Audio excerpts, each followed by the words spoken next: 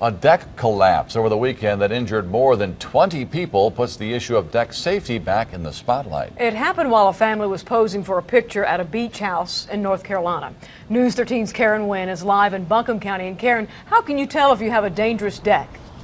Well, Tammy, the cause of that deck collapse along the beach is thought to be from rusty nails, but there are a few signs, according to an inspector and a contractor, that a deck may be dangerous. One of them is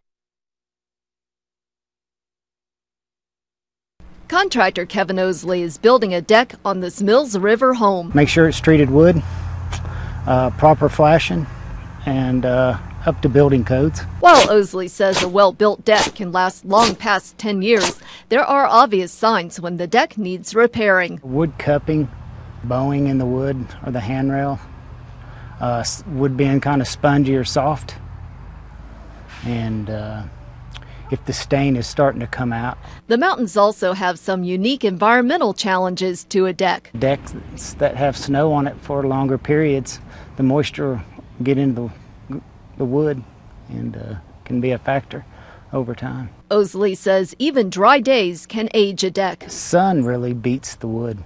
It's hard on the wood.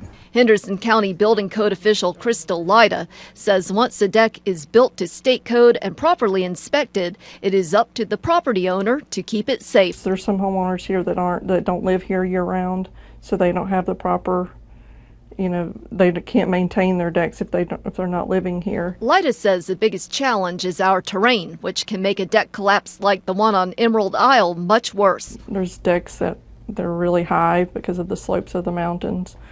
Um, so you deal with that. That's a, really probably the biggest issue around here is because the decks are so can be built really high here. As Osley finishes his job for the day, he realizes a new property owner is about to begin hers.